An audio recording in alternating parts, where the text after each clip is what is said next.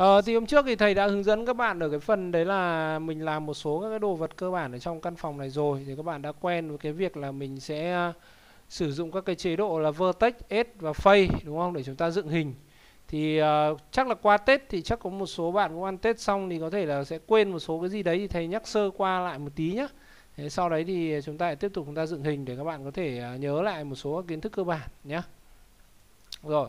Thì đầu tiên thì à, thầy nhắc là các bạn nhớ là khi mình làm với bất kỳ một cái phần mềm về 3D nào thì các bạn nhớ kiểm tra thầy Việt Key đi. Đấy, nhớ kiểm tra thầy Việt Key trước này. Thì nếu như chúng ta để cái chữ V như này thì khi các bạn dựng nhá, ví dụ các bạn dựng này, đây thầy ấn V kép để thầy di chuyển là nó xóa, có thể nó xóa luôn mô hình các bạn như này. Đấy, các bạn thấy không? Thế nên là thầy nhắc là đầu tiên là các bạn khi làm mô hình thì bạn nhớ kiểm tra thầy Việt Key và nhớ tắt nó đi.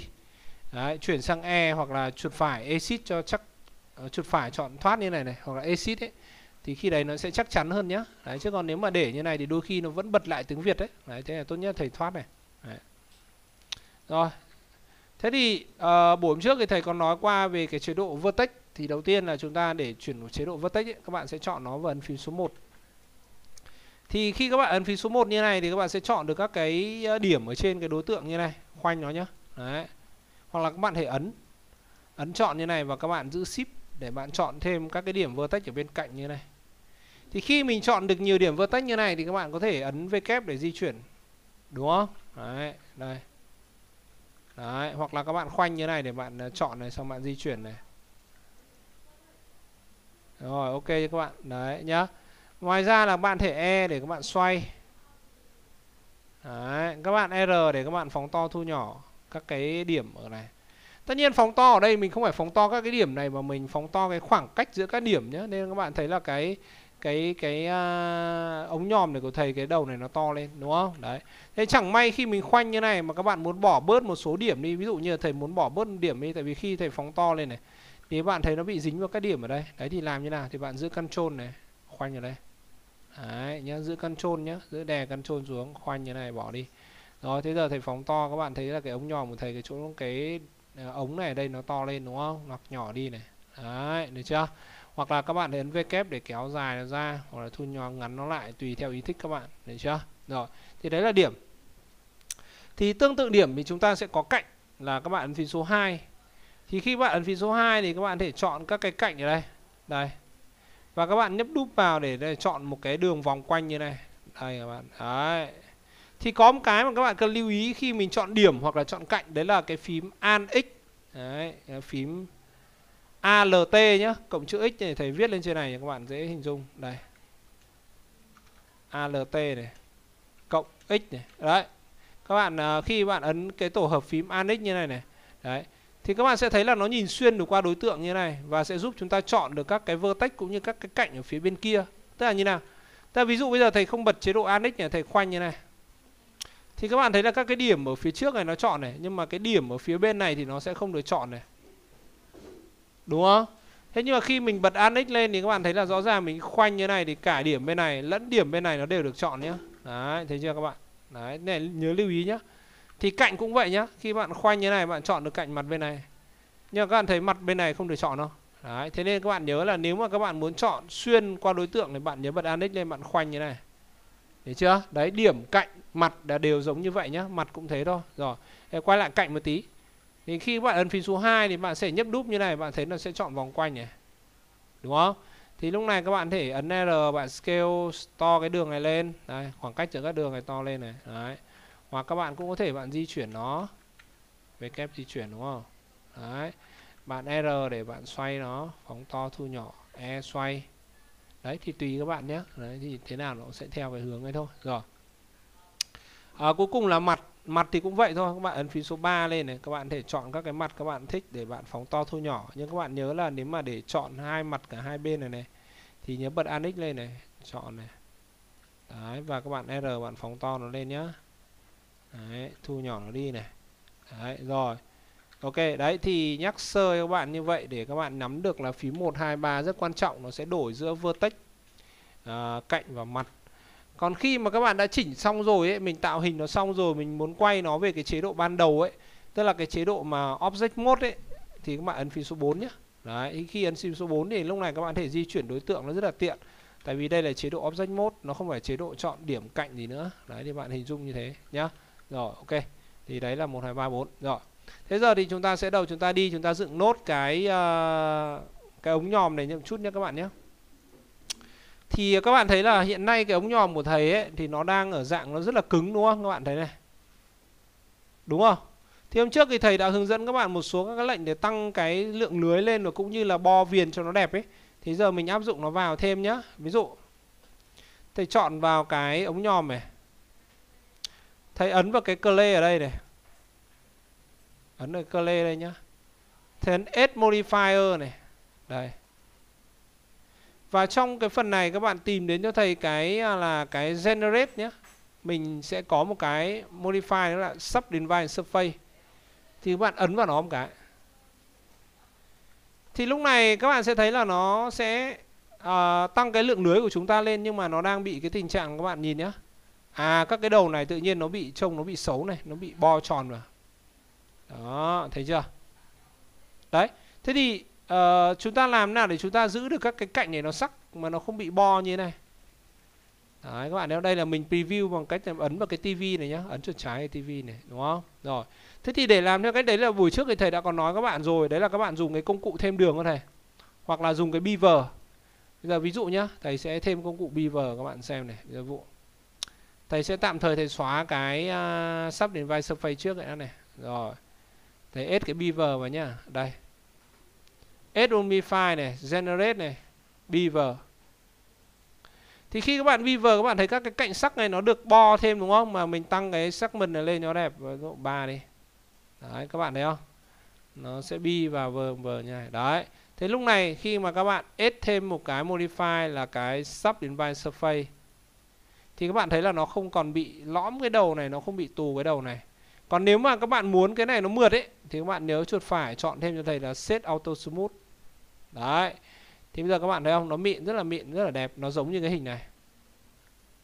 Đó. Rồi đấy các bạn add cho thầy cái beaver và cái sắp đến vai surface và chuột phải set smooth cho thầy nhá, set auto smooth. Đấy. Cái lệnh này thầy đã hướng dẫn những cái bài trước rồi nên bài này thầy không nói lại sâu về nó nữa nhá. đấy các bạn làm thử đi.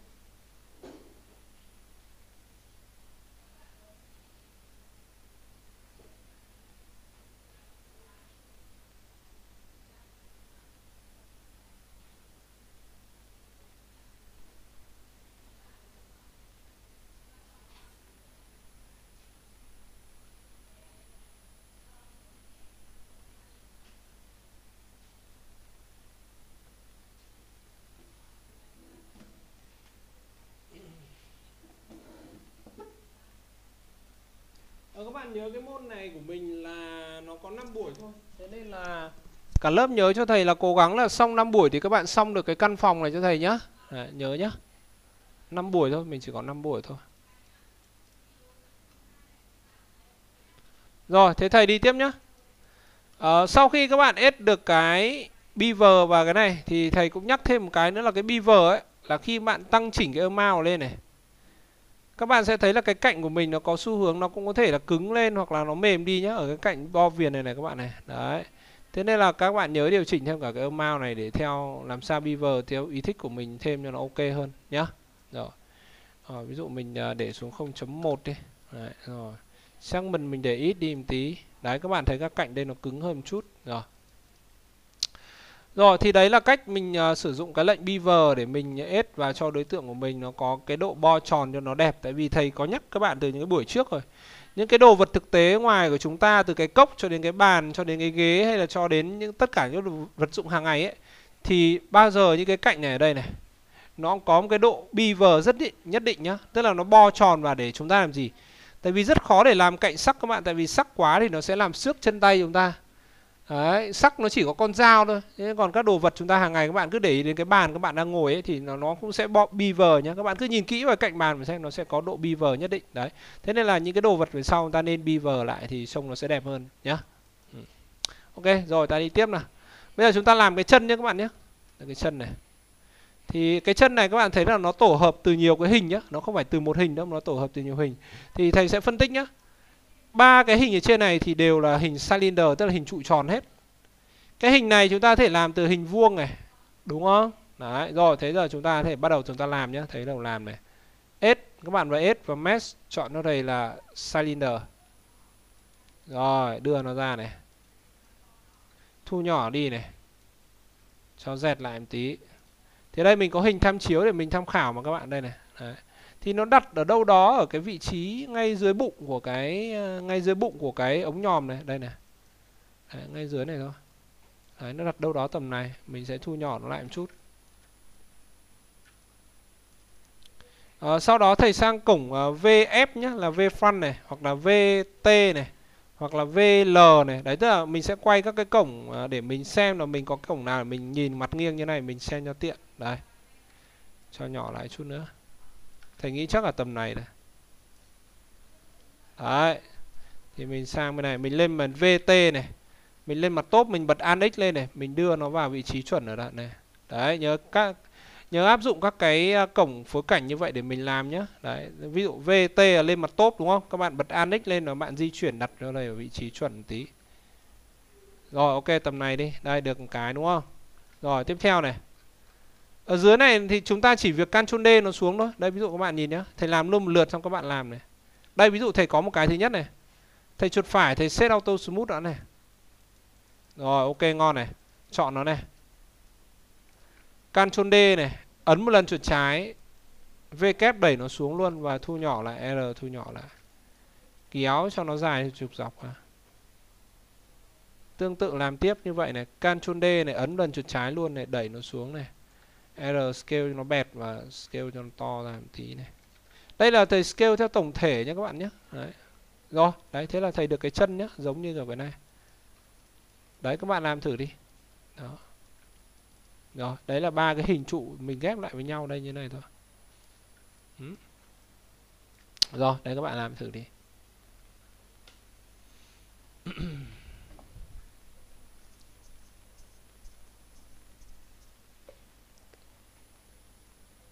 Thì đến đây là buổi số 3 rồi nên là các thao tác thầy sẽ nhanh dần lên nhé. Còn bạn nào mà không theo kịp thì uh, là do là các buổi 1 buổi 2 thì các thể bạn uh, chưa luyện kỹ ấy. Thì các bạn cứ uh, đoạn nào chưa theo kịp theo thầy thì tôi cố gắng cứ bỏ qua đã. Xong mình cứ làm cố gắng theo kịp được đoạn nào thì theo còn về mình xem thêm video nhé. Đấy. Tại nên đây buổi số 3 rồi thì thầy phải làm nhanh lên tí thì mới đủ lượng kiến thức đưa cho các bạn được. Tất nhiên lớp mình là hầu như là theo thiết kế hết nhưng mà như các bạn biết là về sau này bây giờ là hầu như một số các bạn thiết kế bây giờ là đều phải học thêm 3D để làm một số các hình ảnh sản phẩm cho được phong phú hơn ấy. Đấy, đôi khi mình cần những hình ảnh 3D một tí để làm những cái, cái chiến dịch quảng cáo. Đấy, thế nên là các bạn cố gắng luyện nó nhé. Có thể là bây giờ các bạn chưa dùng nhưng mà về sau thì chắc chắn với các bạn là các bạn sẽ phải dùng nó đấy. Để cố gắng luyện nhé. Thích hay không thích thì cố gắng làm một tí cho quen tay.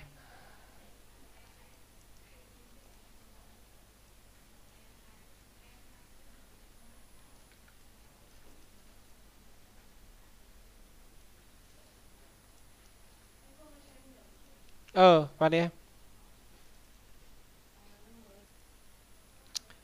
Ok thì thầy đang đợi các bạn ở cái đoạn là ghép ba cái cục này thì các bạn ghép cho thầy nốt đi. Đây này, ba cục này nhá. Thì bạn ghép nốt đi xong mình sẽ đi tiếp luôn. Thì có hơi nhanh thì như thầy đã bảo thì các bạn cố gắng theo nhá Có hơi nhanh thì cố gắng theo tại vì hôm nay buổi số 3 rồi. Mình còn hai buổi nữa là hết thôi.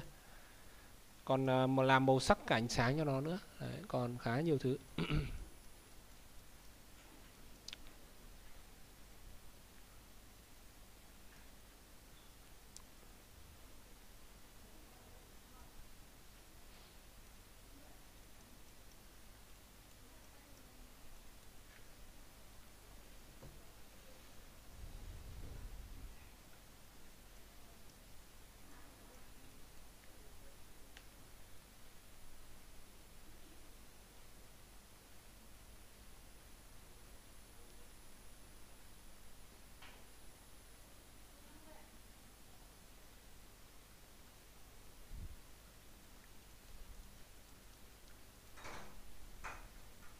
Rồi, thế thầy đi tiếp nhá Cái như cái đoạn này xong này.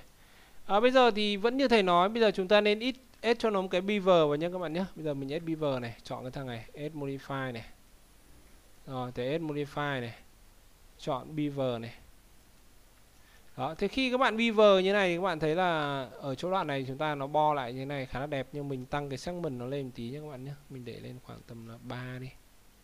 Đấy, thì trông là cũng khá là ok ổn ổn rồi. Ok ở cái âm mao có lẽ thầy tăng lên thêm tí. Đấy, khoảng tầm là 0.2 hoặc là 0.1 thì đấy. 0.3 đi. Đấy. đấy các bạn thấy không? Cái âm mao nó quyết định cái việc là nó bo nhiều hay bo ít thế nên các bạn nhớ chỉnh cái âm mao này nhá. Và có một cái nữa các bạn cần lưu ý nữa ấy, là để mà cái beaver này nó hoạt động tốt ấy thì các bạn nhớ này. Đó là trước khi các bạn beaver nhá thầy nói này, ví dụ trước khi các bạn beaver các bạn nhớ vào object này apply này on transform nhá. Đấy thì cái này nó sẽ quyết định cái việc các bạn beaver nó có đẹp hay không. Đấy nên các bạn nhớ thầy như thế. Bây giờ thầy sẽ thử lại cho bạn xem cái này nhé ví dụ bây giờ thầy này thầy chọn nó nhé thầy vào object này apply này on transform này. Đấy cái này phải luôn luôn chúng ta phải áp dụng với nó nhé thì khi đấy các bạn add cái modify beaver vào thì nó sẽ chuẩn hơn. Đấy các bạn thấy không? Đấy bây giờ 0.1 giờ nó sẽ ra như thế này. Đấy thì mình giảm bớt cái amount đi. Đấy, nhớ nhá. Nhớ cái cái cái on transform đấy cho thầy mình dùng nó rất nhiều đây các bạn thấy bây giờ cái beaver đẹp hơn không? Đây này cái cạnh này rất là sắc này đấy. Cái ống nhòm này thầy, thầy sẽ thử lại cho cho bạn xem nhé tại vì cái này thầy nghĩ cái ống nhòm của thầy nó cũng chưa được uh, uh, object apply on transform đâu. Để thầy thử lại này. Object này apply này on transform này. Đấy giờ thầy ép lại cái modify nhé beaver này. Rồi tăng segment lên này. Tăng amount lên một tí này đó, đấy ok thì thấy nghĩ cái này thầy ấy rồi nên là nó vẫn trông nó vẫn vậy thôi. Rồi ok. Rồi thế coi như ổn nhá.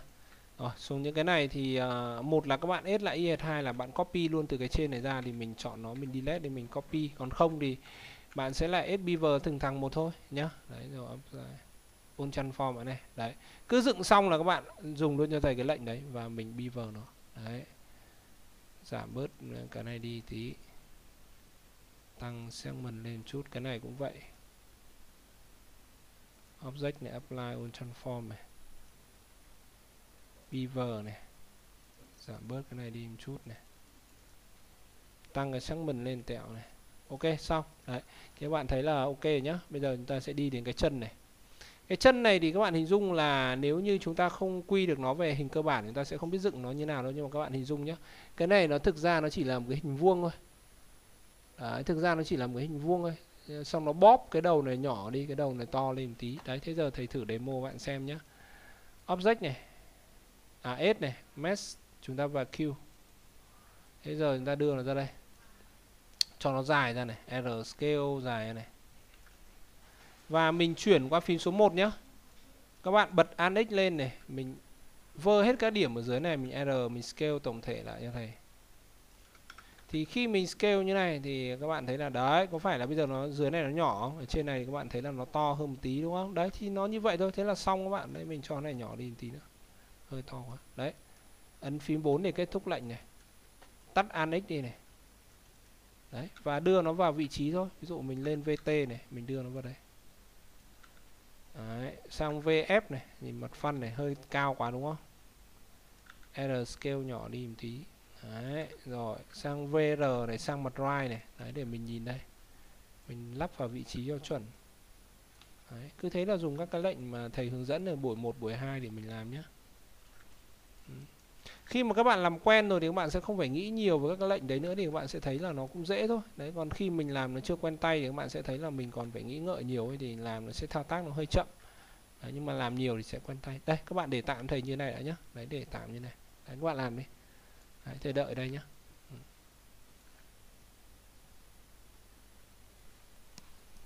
cố gắng làm thật nhiều vào thì sẽ nhuyễn nhớ nhé chuyển qua vertex box thì cần phải nhớ scale tổng thể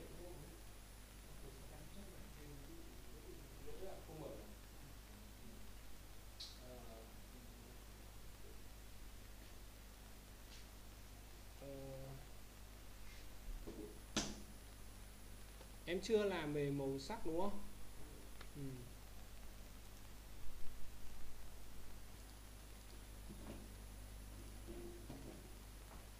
làm như vậy thì cái chân là như vậy.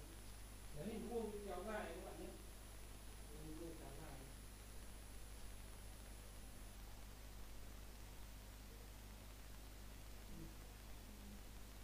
à em ở đây là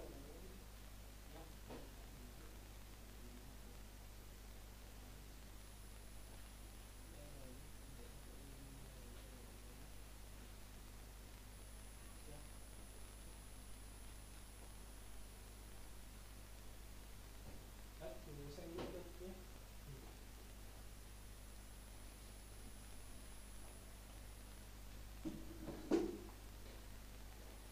Bạn nào không hiểu thì hỏi nhé.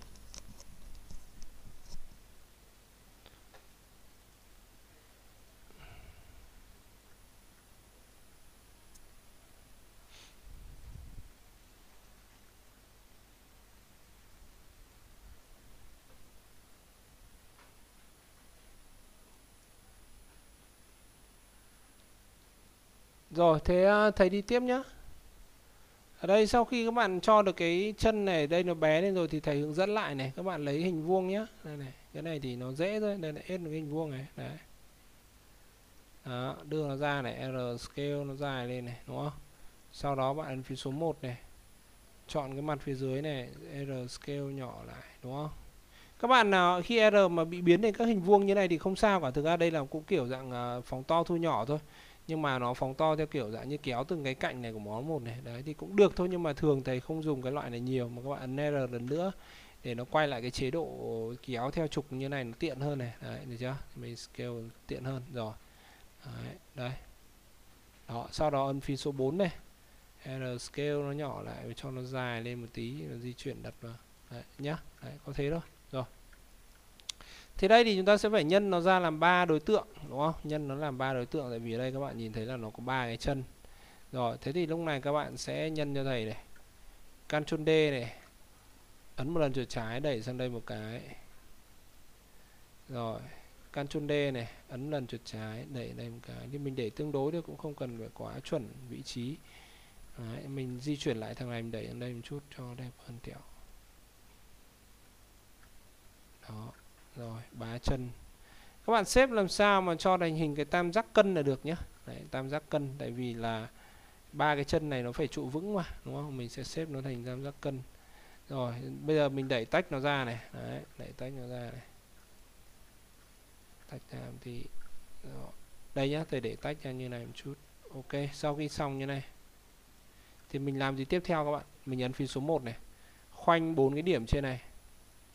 Và các bạn đưa nó vào đây thì nếu như các bạn đưa đây mình thấy à chết rồi cái này của mình nó cái này nó to quá thì mình scale nhỏ bớt đi các bạn. Đấy. Nếu mà to quá. Đấy. Đấy. cho nhỏ đi chút nhá cái này nhỏ đi chút nữa đi. Thấy chưa? Đấy. nhớ chọn hết cả bốn góc nhá. Mình scale cho chuẩn đây. Đấy, chỉ việc chọn và di chuyển điểm thôi các bạn. Bên này tương tự nhá ấn phím số 1 này di chuyển điểm mà. To quá này scale nhỏ bớt đi này. Di chuyển vào này. Cái dưới này bật anix lên này cũng phóng to thu nhỏ đi một tí này. Đấy, rồi đấy nhớ bật anix nhá để mình làm cho tiện. Rồi di chuyển này. À, muốn thoát khỏi chế độ anix thì mình lại ấn anix lần nữa nhé các bạn nhé. Đấy, thế thôi. Di chuyển vào đây. Đó dưới này bật Anix lên này chọn điểm này ấn scale nhỏ lại. Đó thế là chúng ta có được cái chân của cái đèn à của cái ống nhòm này. Đấy. thì các bạn có thể điều chỉnh lại cái chân này theo hướng các bạn thích. Ví dụ mình đẩy nó hơi xiên ra đây một tí nữa. Để cho nó vững hơn ấy. Đấy, cho đẹp hơn. Rồi thế là xong nhá. Thầy đã có được cái ống nhòm ba cái chân nó xiên ra giống như của hình của nó. Đấy các bạn làm thử đi. Đấy chỉ có di chuyển bằng vô tách thôi chứ không làm gì phức tạp cả. Đấy, rất là dễ đấy, thầy tư duy hướng dẫn các bạn làm theo cái cách nó chỉ đơn giản như vậy thôi là được không làm gì mất công. Rồi thế các bạn làm thử đi.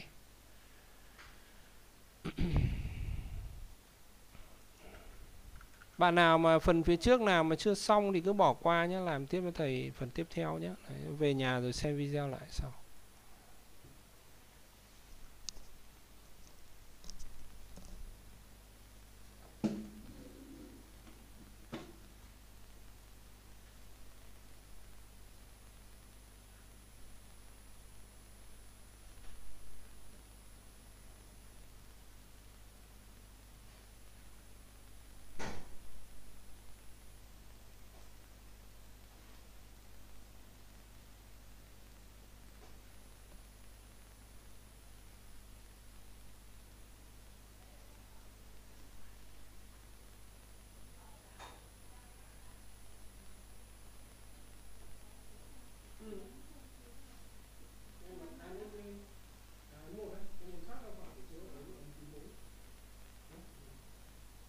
muốn nhìn xuyên thì ấn annex nhé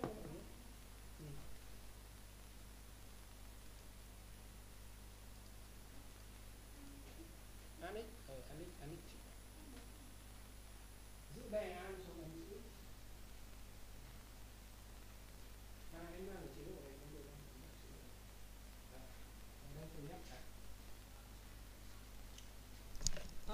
Thứ thế các bạn nhé khi mà các bạn đang để chế độ màu sắc như này này, đây này. Thì các bạn annex nó không hiện đâu nhá. Đấy, thế nên các bạn nhớ này, phải bật sang cái chế độ không có màu ấy này, viewport setting ở đây này. Đấy, bật annex thì nó mới tác dụng này. Đấy, các bạn nhớ nhá, nếu mà đang bật chế độ màu sắc như này thì bật sang cho thầy chế độ không màu này. Annex đi, đấy. Còn tí thầy hướng dẫn các bạn lại cái phần màu sắc sau, nhưng mà tạm thời là các bạn nhớ là mình để sang chế độ không màu, mình annex cho tiện để mình dựng hình đã mình chưa làm gì màu sắc vội, thế nên là đừng bật sang cái chế độ này thì không bật được annex đâu, nhá đấy. rồi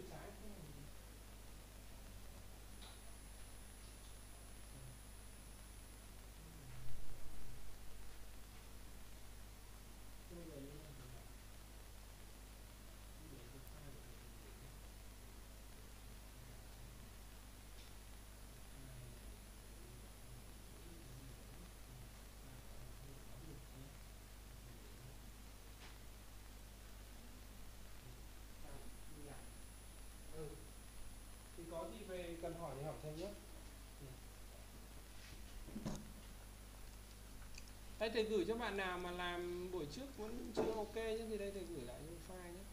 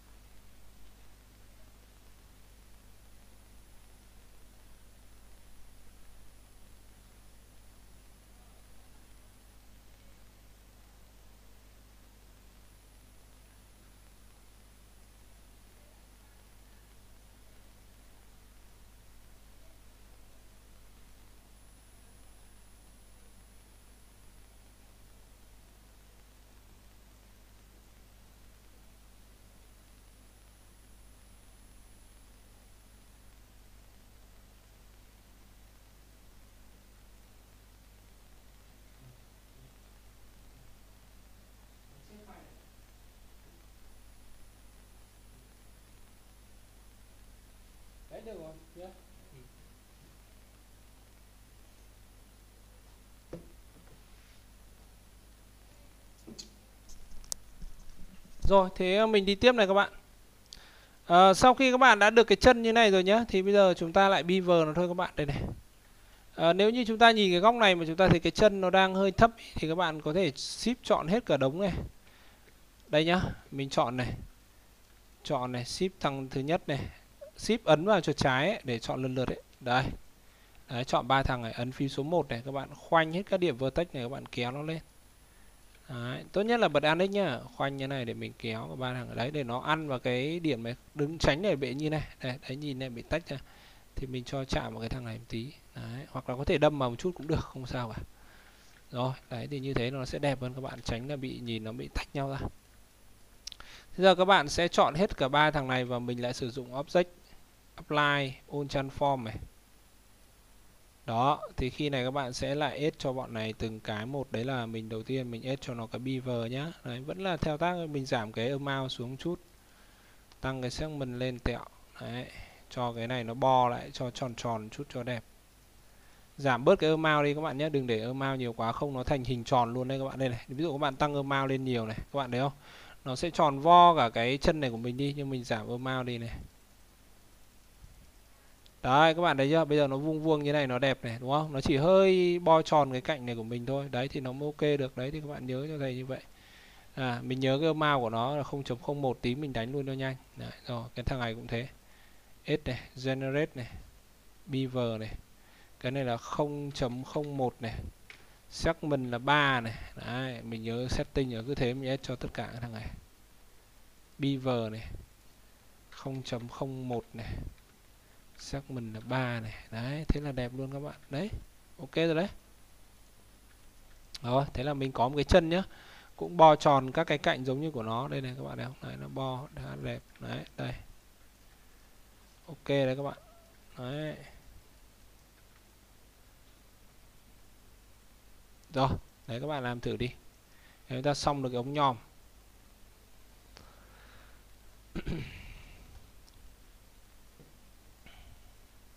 đấy từ nãy giờ lanh quanh chúng ta cứ dùng các lệnh beaver thôi. À, cái điều đấy nó áp dụng cho cả cái ghế này nhá. Như cái ghế này các bạn thấy là nếu như các bạn muốn các cái chân này của nó nó bo nhỏ lại các bạn nhớ là chọn mình chọn các cái chân này này. Đây này. Đấy mình thể r scale nó nhỏ lại như này một tí. Đúng không? Để thay đổi cái hình dạng của nó đi. Đấy.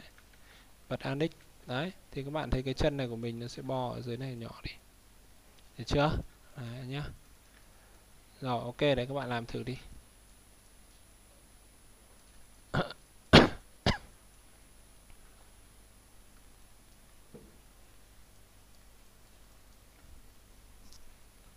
Đấy, beaver thầy vào cho đẹp. Beaver vào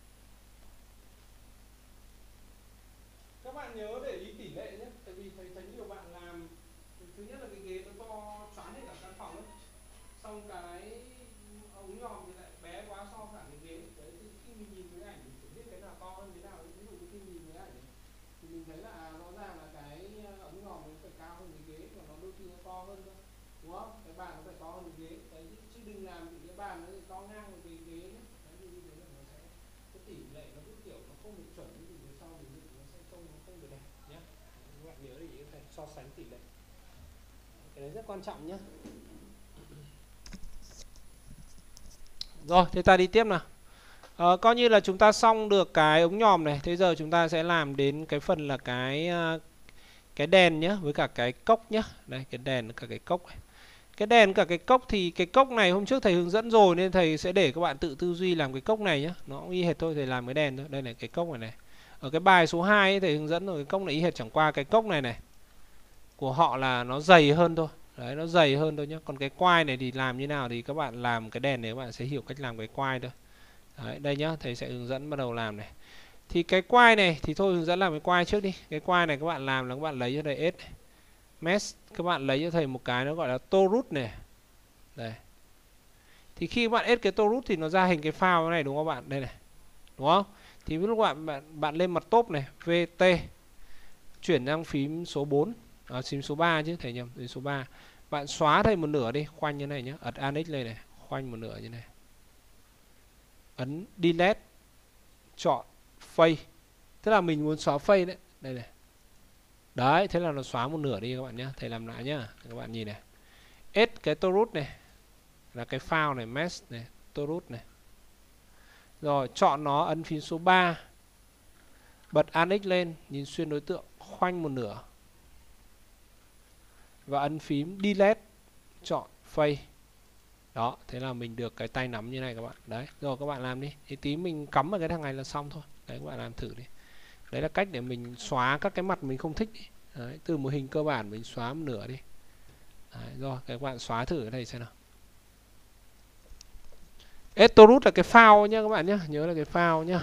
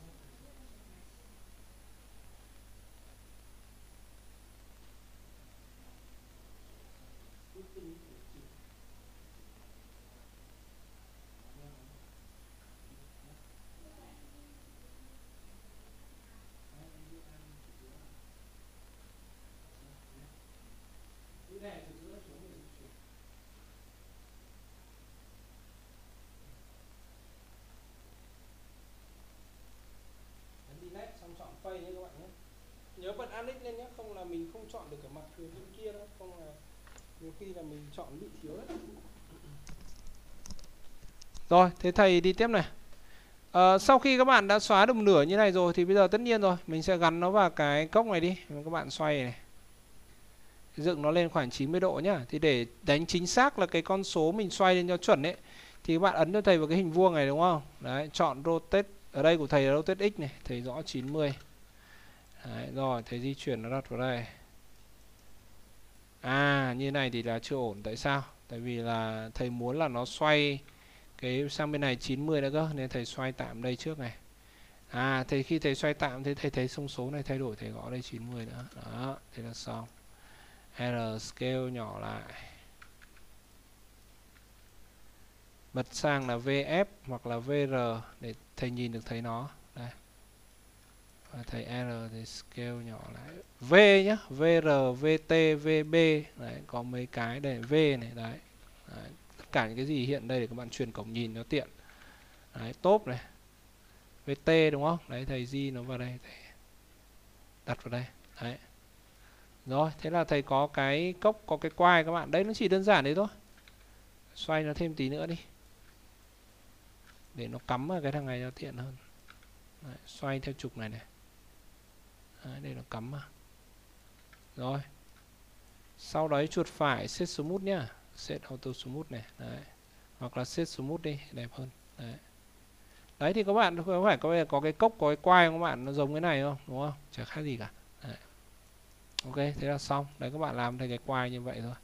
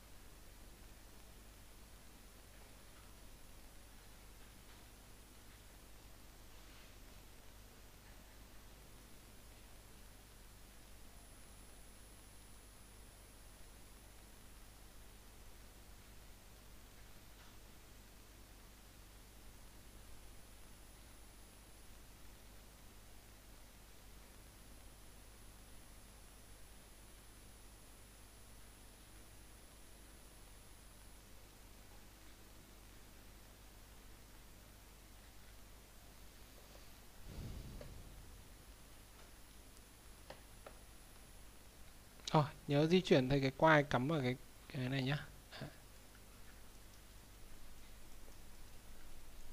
Rồi đến đây thì ờ, các bạn nhớ Ctrl S cho thầy nhá. Nhớ Ctrl S nhá. Đây vào file này. Save này. Đấy, để mình có thể là mình ờ, lưu lại cái file này là mình làm nhiều nó đỡ bị lỗi các bạn nhá. Save lại đây.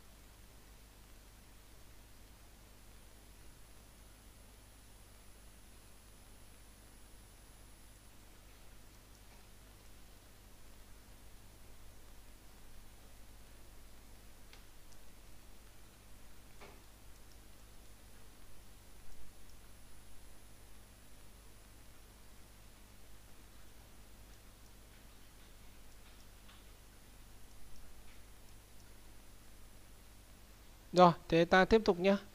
Coi như là cái quai các bạn xong rồi nhá. Đấy chỉ có làm như vậy. Bây giờ chúng ta làm cái đèn nhé. Đấy cái đèn nó có cái đường này uốn éo chúng ta làm như nào này.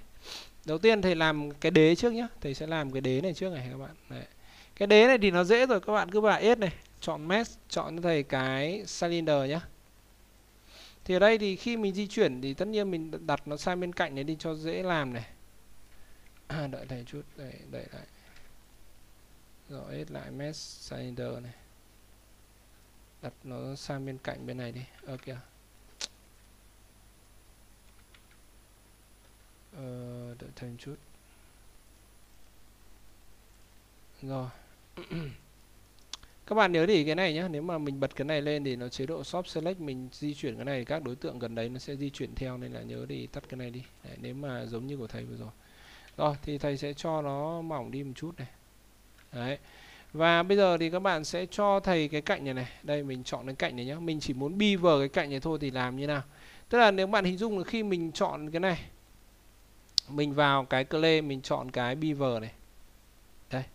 Thì nó sẽ beaver beaver hết. Nhưng mà đôi khi là chúng ta chỉ muốn beaver một cạnh ấy, thì thầy hướng dẫn các bạn chỉ beaver một cạnh thôi. Tức là này. Thầy chuyển vào phím số 2 nhé thầy chọn cạnh này. Thầy nhấp đúp vào này để nó chọn vòng quanh này sau đấy thầy ấn phím Ctrl B hoặc là các bạn sử dụng cho thầy cái lệnh à, uh, beaver ở phía bên này. Đây này cũng được nhé nó phím tắt là Ctrl B. Rồi các bạn Ctrl B này đấy và bạn cầm vào cái tay cầm màu vàng này bạn đẩy nó xuống. Đó thì nó cũng sẽ beaver nhá. Nhưng mà beaver ở đây chúng ta mới chỉ beaver một cạnh ấy, thì nó không đẹp lắm. Mình tăng cái segment lên trước á. Đây mình tăng cái segment này lên là 3 này. Sau đó mình cầm cái này mình kéo nó xuống này.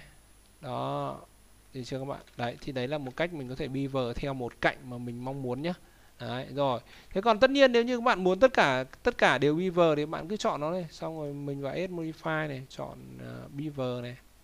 Đúng không? Đấy và sau đó bạn chỉnh amount và segment thôi thì cũng được thôi. Đấy nhá.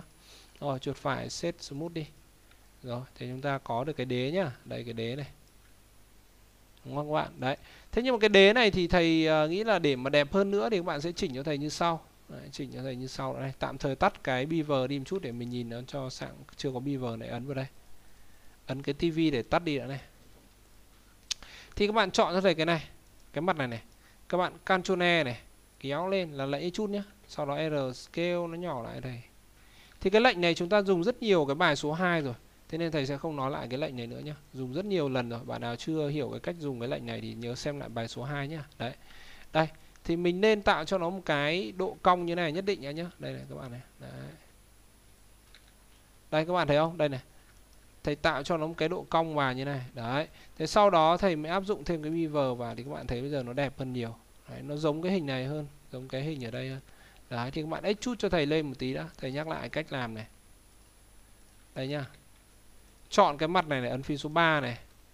Ctrl E này kéo nó lên nữa này. Đây đúng không? Nó lên như này xong rồi R scale nhỏ lại. Đấy. Thấy chưa? Rồi đấy thì nó sẽ tạo ra một cái đường cong như này. Đấy, đường cong như này. Đấy thì thầy nghĩ nó sẽ đẹp hơn. Rồi thế khi đấy các bạn beaver nó sẽ đẹp hơn nhá. Rồi ok đấy các bạn làm thử đi.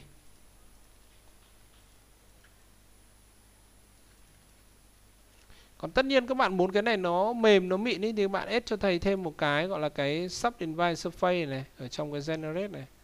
Đây này.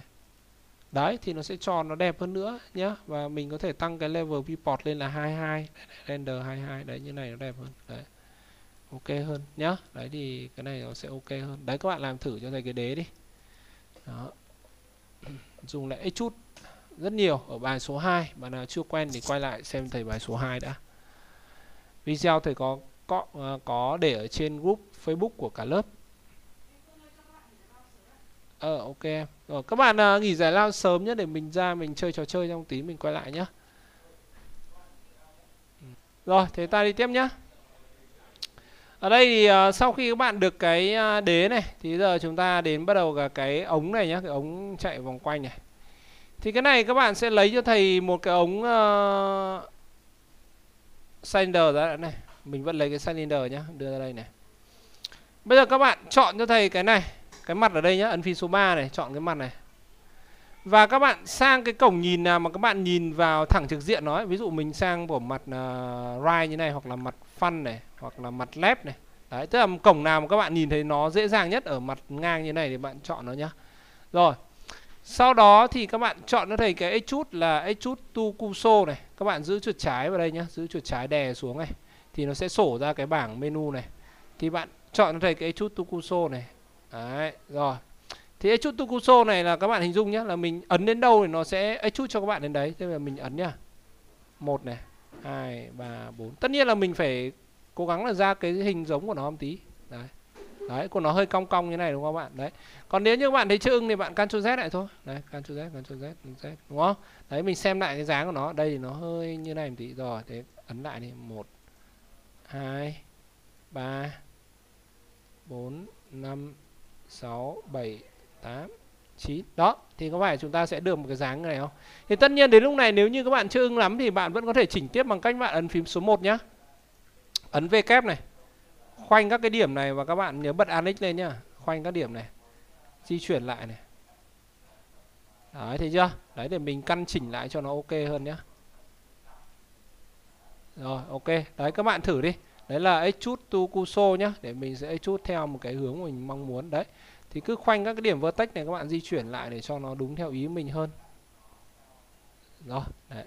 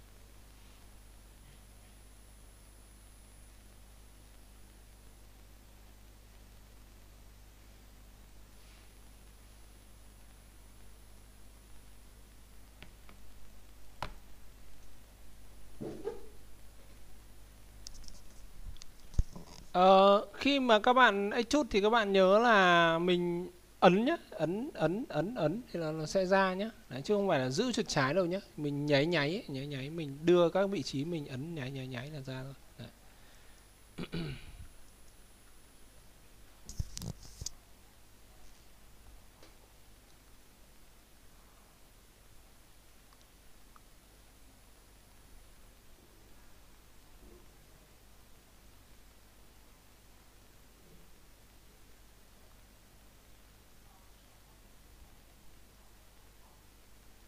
Rồi, thế sau khi các bạn ấn được rồi nhá, thì bây giờ chúng ta làm tiếp này.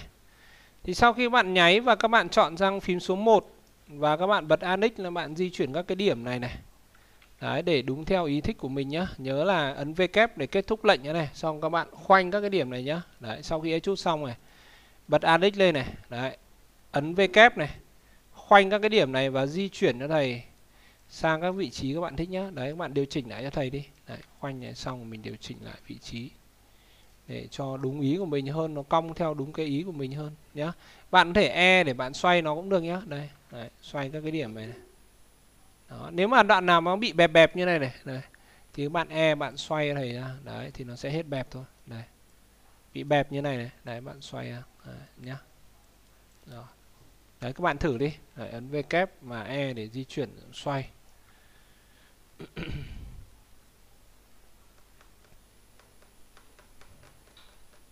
à đi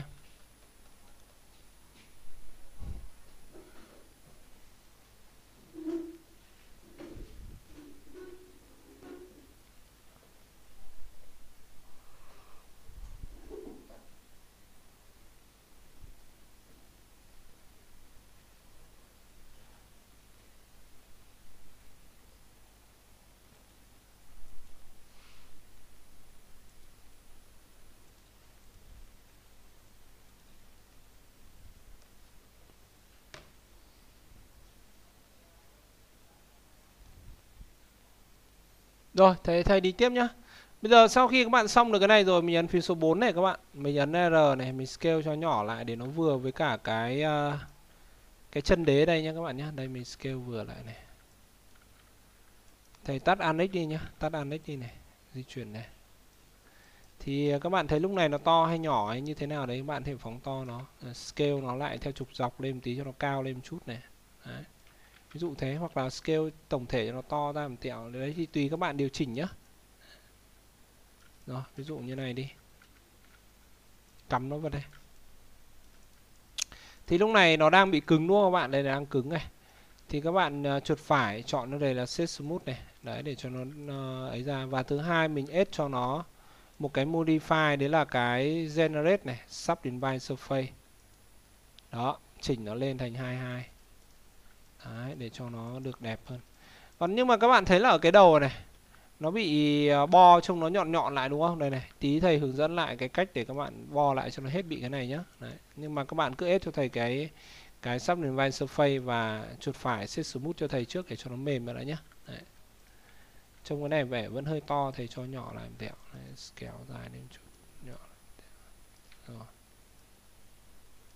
Scale theo trục dọc để cho nó cao lên một tí. Rồi xong nhá.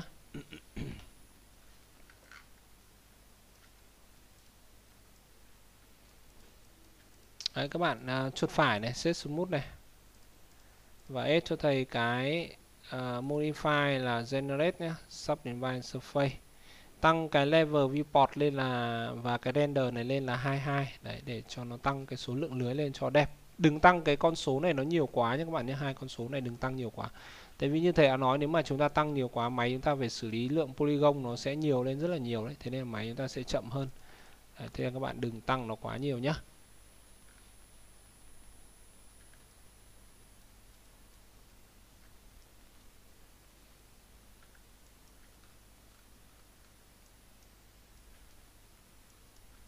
Rồi, thế bây giờ thầy hướng dẫn cách các bạn để các bạn làm cho cái đầu này nhá. Nó bớt bị nhọn đi này. Thì cái đầu này lý do mà nó nhọn ấy tạm thời thì tắt cái tivi đi nhá. Đây này, để nó quay lại cái chế độ ban đầu này. Là chúng ta chưa chặn cạnh ở đây này. Hoặc là chúng ta chưa beaver, các bạn có thể beaver nó hoặc các bạn thêm cạnh vào, thêm đường vào. Đây ví dụ thầy thêm vào nhá. Thầy dùng công cụ an c này. an c nhá bạn uh, giữ chuột trái bạn đưa nó vào gần sát cái phần đầu này này càng sát thì càng tốt nhá thì khi đấy các bạn sẽ thấy là mình đặt đặt một cái cạnh ngay gần sát như này đây này đó ở dưới này chúng ta đặt một cái cạnh gần sát như vậy luôn nhé đây này. Vẫn đang an c nhé bạn giữ cho trái này đặt vào đây. Đó. Sau đó ấn v kép kết thúc lệnh này. Thế bây giờ các bạn bật lại cái tivi này lên.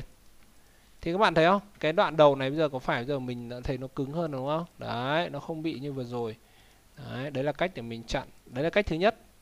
Cách thứ hai là các bạn có thể sử dụng lệnh beaver. Đấy, thầy Ctrl Z lại một tí. Thầy làm theo cách số 2 này tắt cái tivi đi đã nhá. Cách số 2 là thầy chuyển ra phím uh, số 2 thầy nhấp đúp thầy chọn cái cạnh này. Sau đó thầy Ctrl B và thầy cho cái sắc segment này lên là 3 nhé sau đó thầy cầm cái vàng này đường màu vàng thầy kéo nó ra đây. Đấy, rồi đây cũng thế. Ấn phím số 2 nhấp đúp đây này. Chỉnh sắc segment đây lên lên 3 này. Cầm cái này kéo nó lên phía trên này đó, thế là nó beaver cạnh này lại. Thì khi đấy các bạn bật cái này lên đây cái tivi lên. Đấy, các bạn thấy không? Nó rất là nét và rất căng luôn. Đấy, cái đoạn này nó không bị nhọn lại. Này. đấy đấy là cách để chúng ta chặn các cái cạnh chúng ta muốn ở cái đoạn nào đó nó cứng, nó sắc nét lại ra sẽ làm được cái cách này nha các bạn nhé. Rồi, đấy, thế là thấy xong rồi. Đấy, các bạn làm thử đi. Beaver hoặc là chặn bằng cái an c cũng được. Đấy, tùy các bạn nhé. Nhưng mà theo thầy beaver thì nó sẽ sẽ nhanh hơn. Đấy, mình beaver phát luôn cho nhanh ok xong. Đấy, còn cái đèn ở phía trên này nữa là chúng ta xong cái đèn thôi à còn cái ở đây nữa. Cái chân này tí mình lấy luôn cái này mình nhân ra được. Đây. ok. Rồi.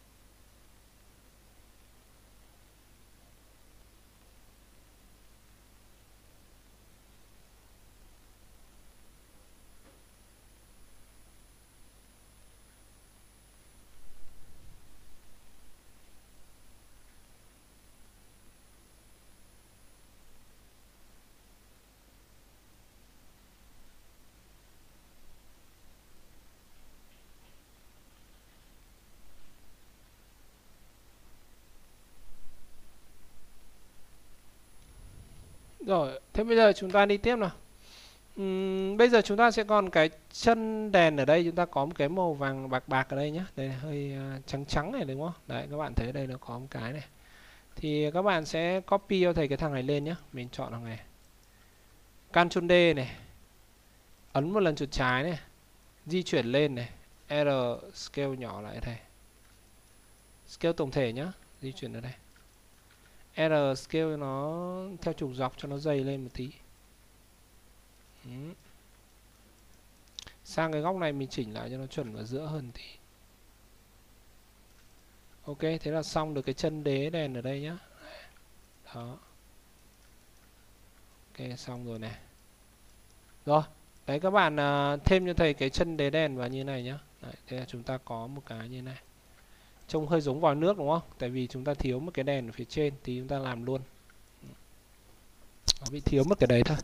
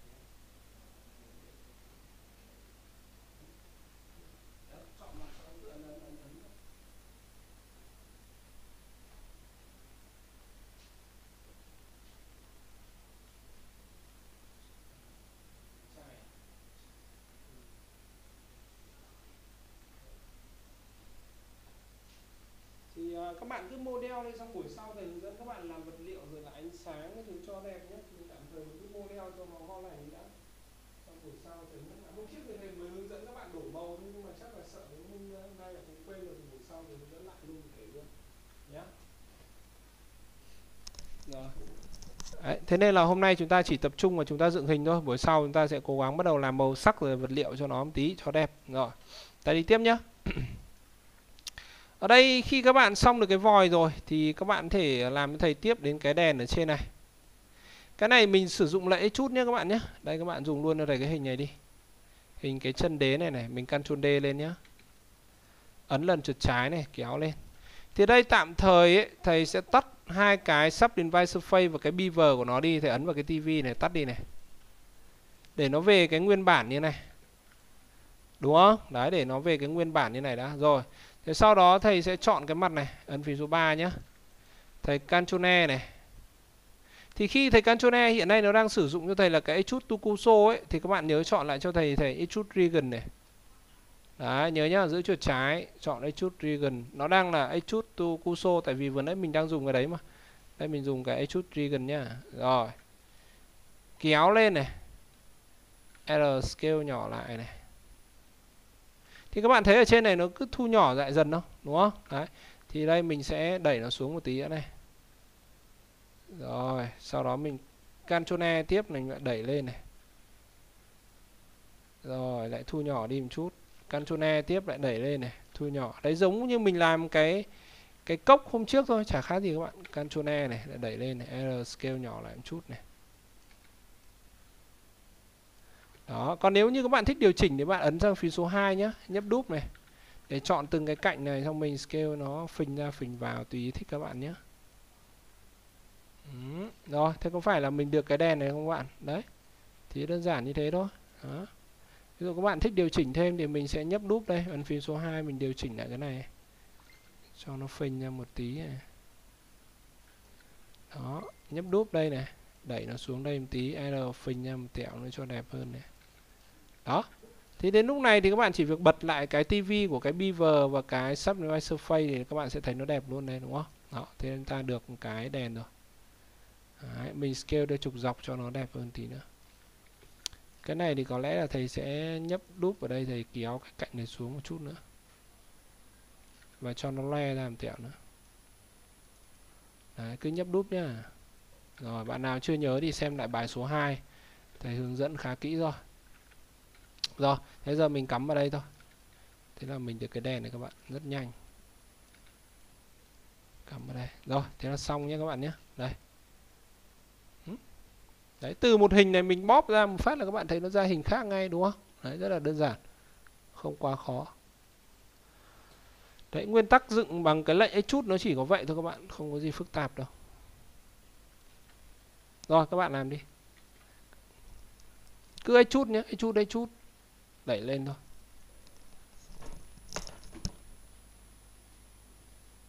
các bạn nhớ chỉnh lại cái chút thành là cái chút uh, ờ, Regan nhá để nhớ như chuột trái vào đây này chọn cái chút Regan nhá Đấy.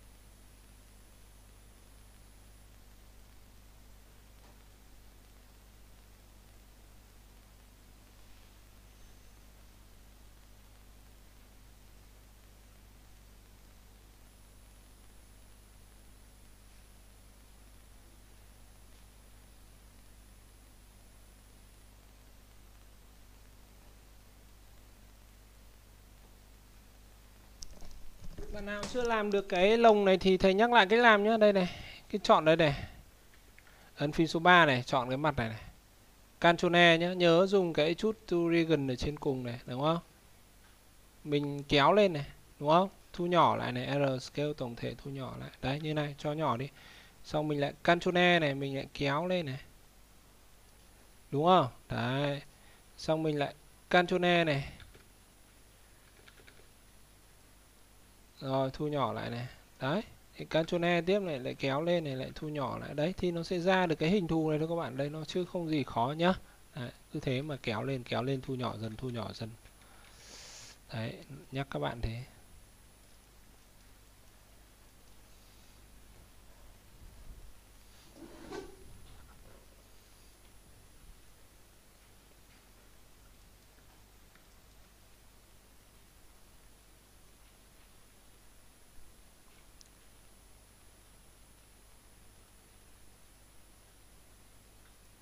Rồi, thế đến đây thầy sẽ đưa nó vào trong cái bàn nhé.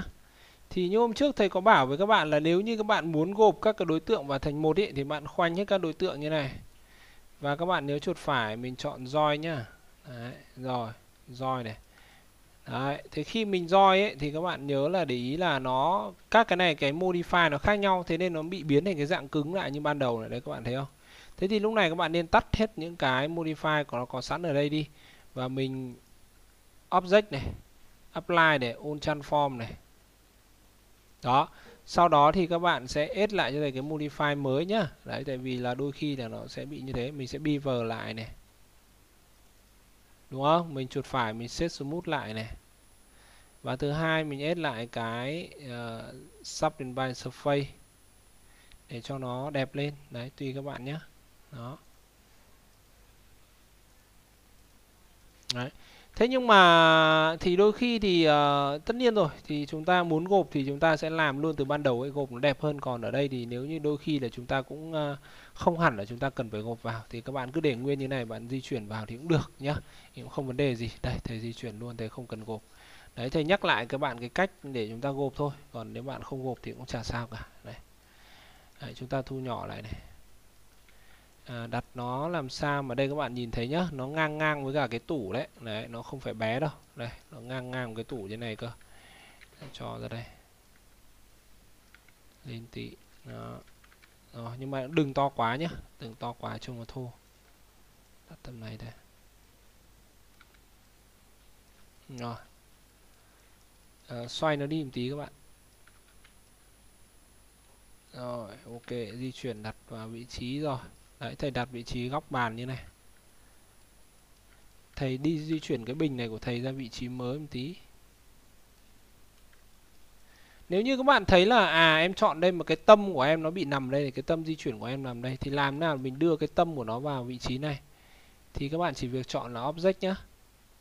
Mình chọn set origin này, origin to geometry nhá. Đây cả lớp chú ý cái đoạn này một tí này tại vì đôi khi các bạn về sau dùng cái lệnh này.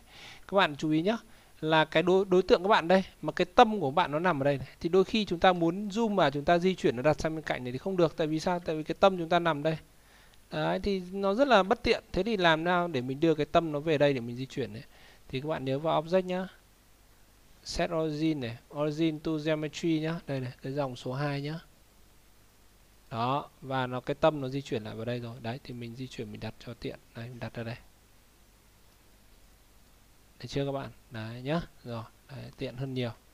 Chứ mình cứ để cái tâm ở đây rất khó để gì mình di chuyển được các bạn. Đấy. rồi đấy, bàn khá là nhiều đồ đúng không? Ok xong rồi. Thế là thầy được cái đèn nhá. Đấy.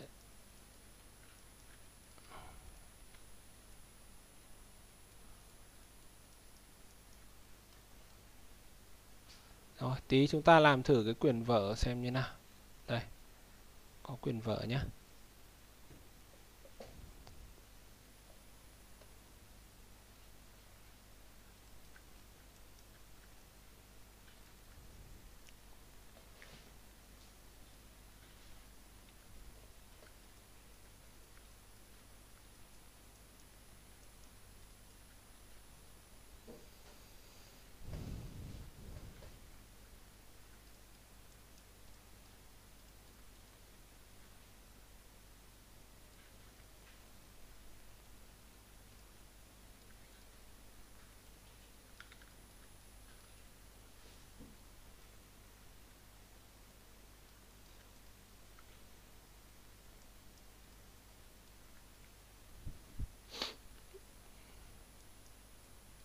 À, các bạn di chuyển đặt cho thầy vào vị trí cái bàn nhé. Nhớ xoay các góc xem là mình đặt xem nó ổn chưa nó có bị bay ra khỏi cái bàn không hoặc là nó chưa dính vào cái bàn không nhé. Ví dụ mình xoay mình nhìn gần mình tự nhiên thấy nó bị như này là chưa ổn nhé. Đấy, thì nhớ đặt lên trên cái bàn như này.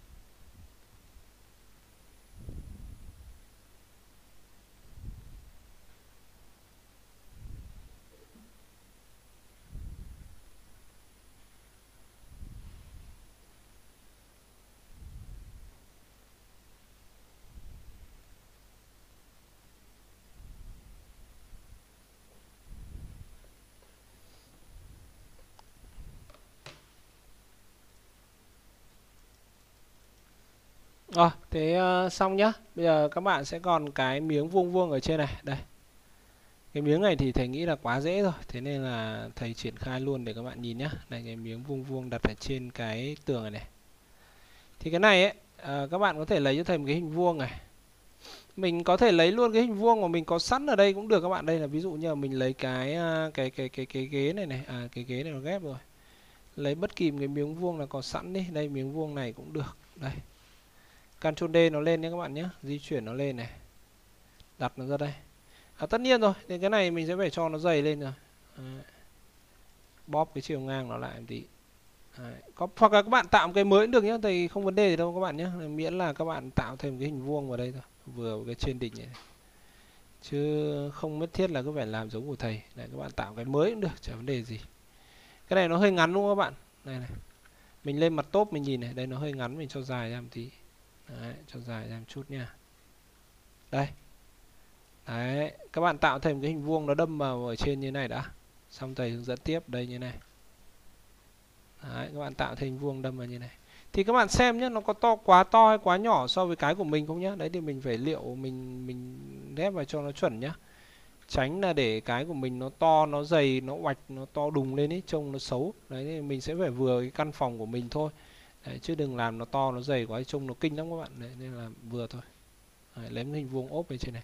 Bạn nào chưa xong cái đèn thì cứ bỏ qua đi tại vì là có video về để các bạn xem mà. Đấy, thế nên là yên tâm không vấn đề đâu. Về rồi mình làm nốt cái đèn lại sau nhé bây giờ làm luôn bắt đầu cho thầy từ cái phần hình vuông này đi. Nếu mà bạn nào cái phía trước làm chưa ok ấy nhá. Đấy, làm đầu cho thầy từ hình vuông này luôn đi. Ừ. có video mà.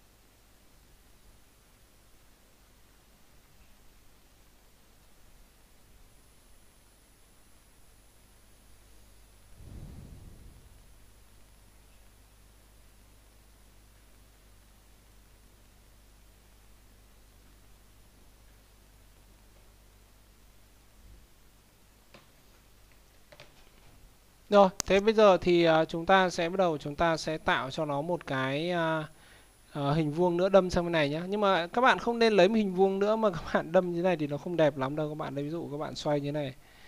Bạn xoay bạn đâm ra như này, bạn đẩy sang bên này đúng không? Như thế này thì nó không hay các bạn. Đây như này này, nó đâm như này nó không hay đâu. Chúng ta sẽ làm như cách như sau là các bạn chọn cái hình vuông này này.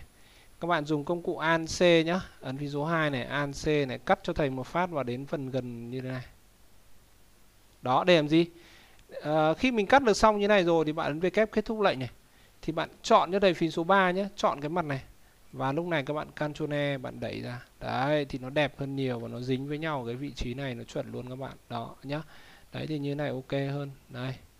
Đấy, có phải là mình được cái miếng vuông ở trên cái thành của cái tường này không? Đấy. đấy chưa các bạn? Đây thầy làm lại nhá. Ừ, cắt rất là nhanh vậy thôi. Đấy thì như thế thì nó đẹp hơn. Đây. Đầu tiên này, ấn phím số 2 này, An C này. Di chuyển đặt ở vị trí đây.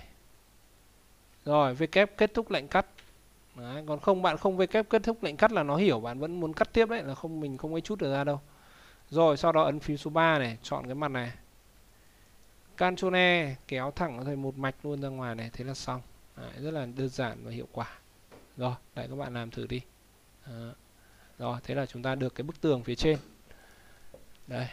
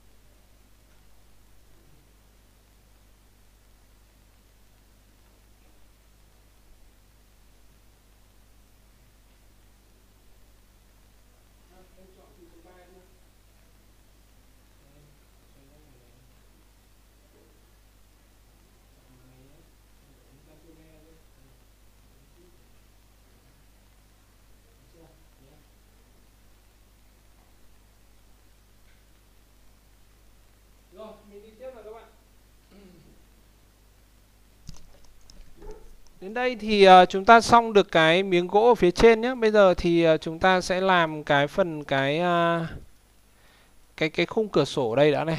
Đây này. Ở đây các bạn sẽ thấy là nó có hai cái cửa sổ và có một cái khung bên ngoài đúng không? Ok, thế giờ chúng ta sẽ làm cái cửa sổ đấy một tí.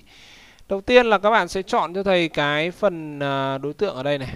Đây cái này nhá mình sẽ lấy một cái uh, hình vuông mình uh, lấy mấy cái hình vuông ấy mình uh, đâm vào hoặc là mình dùng một cái hình chữ nhật mình sẽ khoét vào đây cũng được nhé rồi đầu tiên chúng ta làm như sau. Thầy sẽ uh, Ctrl D thầy nhân cái thằng này ra này. Đúng không? Mình có hai cửa sổ. Đấy, đúng không? Tí mình sẽ ghép nó lại sau. Rồi thế bây giờ thì các bạn điều chỉnh lại cho thầy ấn phím số 1 nhé điều chỉnh lại thầy cái này nó nó rộng hơn tí. Đấy thì có gì đâu. Đây điều chỉnh lại thôi đẩy cái này sang đây một tí, tại vì các bạn nhìn nhé cái cánh này này, ở đây nó nó mỏng thôi, đây này, nó mỏng thôi, nó không nhiều lắm, mình dùng luôn thằng này. Nó mỏng mỏng thôi các bạn. Đấy. Đấy, mình tận dụng lại tất cả những cái gì của mình có các bạn, để đỡ phải làm lại từ đầu, mất thời gian. Tất nhiên là các bạn thích làm lại từ đầu thì cũng được thôi. Thì mình đục nó ra các bạn, đấy, mình làm lại từ đầu nhé nhưng mà đây thì không muốn đục. Mình đã đục một lần rồi thôi. Đây tạm thời như này đi. Mình tạm thời tại sao? Tại vì mình còn phải đưa vào đây. Để mình uh, cho nó nhỏ lại xem nó có vừa không nhá. Đây tạm thời các bạn cứ cho thầy nó mỏng mỏng như này đã trước rồi này. Đấy, xong mình sẽ ghép vào cái khung này. Đấy các bạn làm trước đi. Đấy copy cái thằng này ra nhá, Ctrl D ra thôi. Đấy, đẩy ra này. Chuyển sang phím số 1 nhá. Chọn các cái điểm vertex này các bạn di chuyển nhá. Nhớ bật annex lên nhá. Nhớ bật annex lên nhá. Di chuyển cho tiện nhá. Đấy như này thôi. Đó cứ thế thôi nhá đó. Rồi, thế là xong, đúng không? Đấy, ví dụ thế.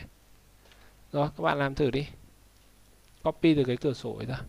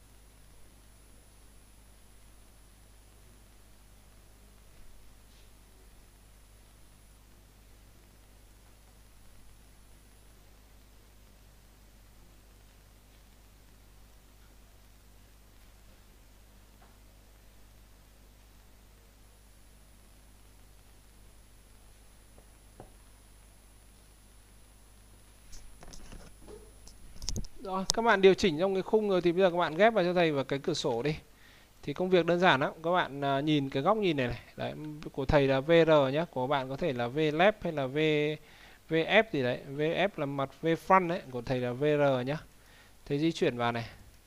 Thầy sẽ apply on transform vào đã nhé. Object này. Apply on transform này, đấy. Nói chung là như thầy đã bảo dựng xong hình thì các bạn phải sử dụng ngay cho thầy cái lệnh này, thầy nhắc đi nhắc lại thế thứ hai là cái tâm của nó đang bị ở đây. Thầy muốn đưa cái tâm nó vào chính giữa này cơ. Thì thầy vào object này.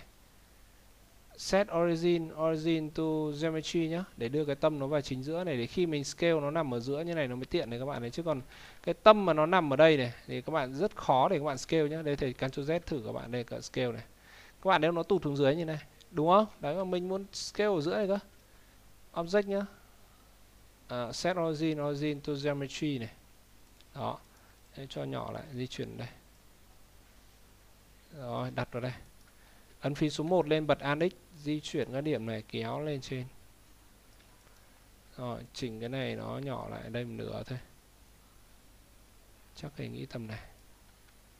Đấy thế là thầy được cái khung cửa sổ ở đây nhé các bạn nhé. Đây khá là nhanh đúng không các bạn? Đấy.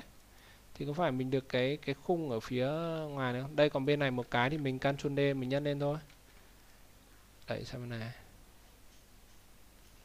rồi. To quá đúng không? Cái này nó bị đâm vào cả vào tường này các bạn. Thế thì cái miếng này mình phải lùi lại một tí. Đây. Anix này. Đẩy lùi cái này lại một tí. Chắc tầm này. Rồi, ấn số 4 này. Ctrl D lại đẩy sang này. Đó, thế là vừa luôn các bạn. Đây. Ừ. Nên chúng ta có cái khung cửa sổ nhá. Thì các bạn nhớ đẩy cho thầy nó lùi lùi lại một tí như này này, để nó có cái khe rãnh ở đây nhá đừng đẩy nó quá lên như này thì nó không đẹp mà đẩy lùi lại tí. Đấy, như này mình có một cái khe rãnh như đây thì nó sẽ đẹp hơn. Rồi, đấy, các bạn làm thử đi. Thế là có khung cửa sổ.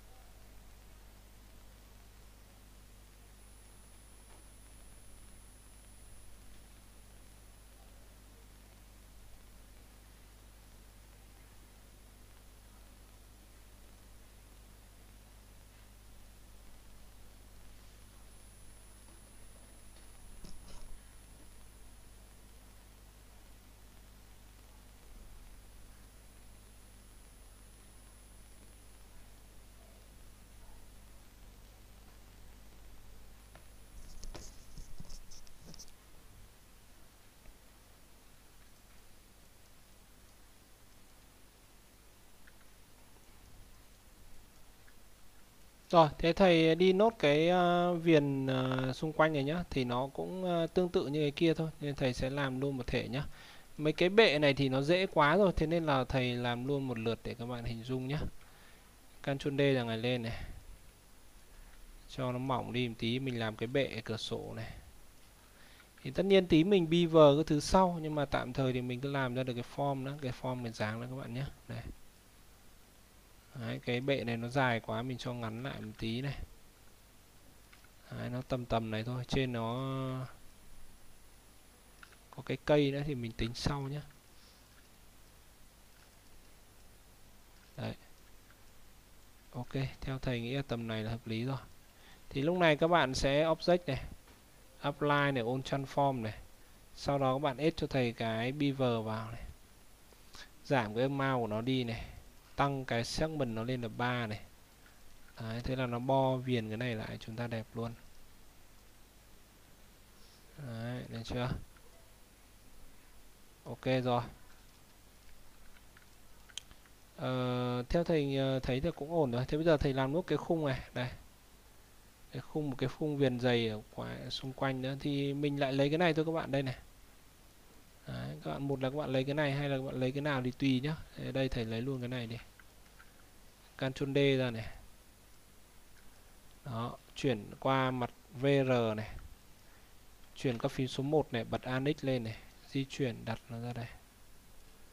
Đấy, có thế đó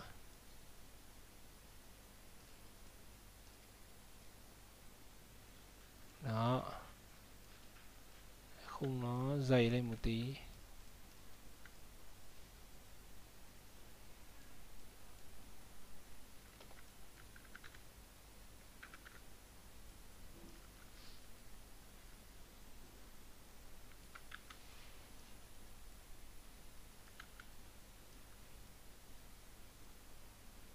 Rồi chỉnh lại một chút cho đẹp hơn tẹo rồi, ờ, nó khít vào hơn tí.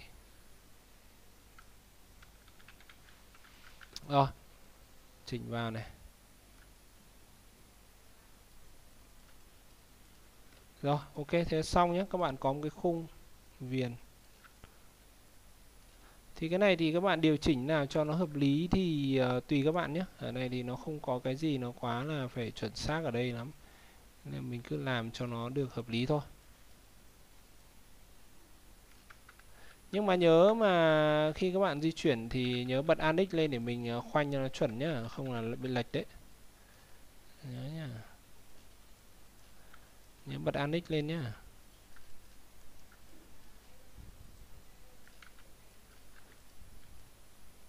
Đấy, thì nhiều cái cửa sổ nó còn có cả tay nắm cơ, nhưng mà đây nó không làm, nên là thôi mình cứ để như này thôi các bạn. Đấy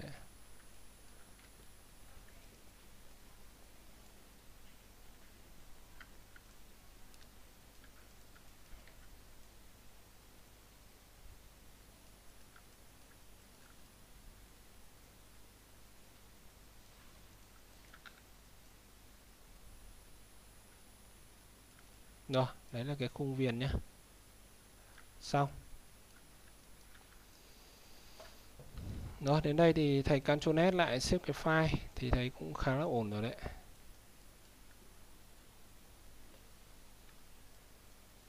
Rồi, các bạn uh, xếp file lại cho chắc nhé. Rồi, đấy các bạn làm đi. Thầy làm luôn cả cái khung viền ở đây và cái bệ này luôn một thể rồi nhá. Đấy các bạn cứ làm luôn. Đấy, nó lặp lại cái thao tác từ nãy thôi.